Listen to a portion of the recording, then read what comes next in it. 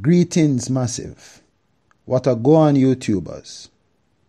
Welcome to another video as we talk about switches and how they function in my home network.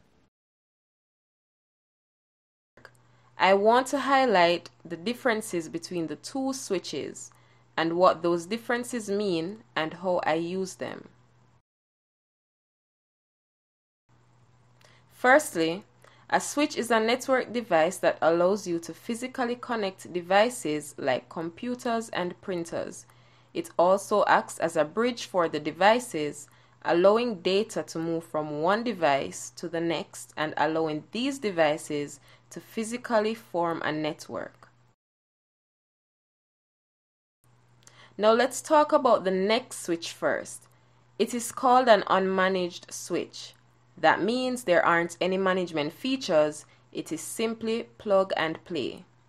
You'll see that the next switch has 24 ports. I do have quite a few devices to connect together, so I do have use for many of these ports.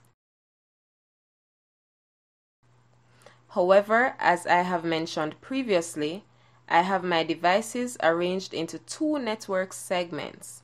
That's because I want the devices I've placed in a segment to be walled off from the devices in my main network segment. That would be for the reasons of security and performance. The next switch does not allow me to do that in the most effective way. That is where the 3Com switch comes in. It is a managed switch. It has a web interface that can be used to manage connections among my devices better. It allows me to group my devices into the two segments, achieving the walling off I've just mentioned.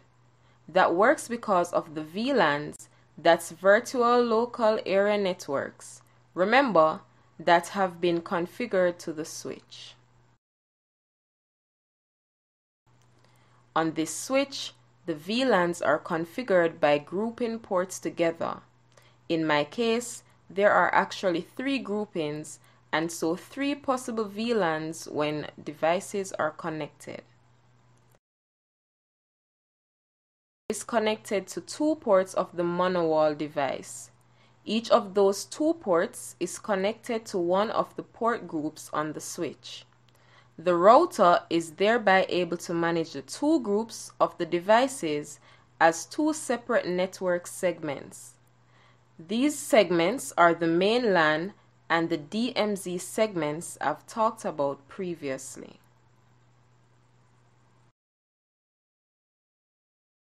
Watcher, did you find this video interesting or informative? Or was it entertaining? Here what you do. Click the like button, share it with a friend, and go and look out for the next one. Bless up.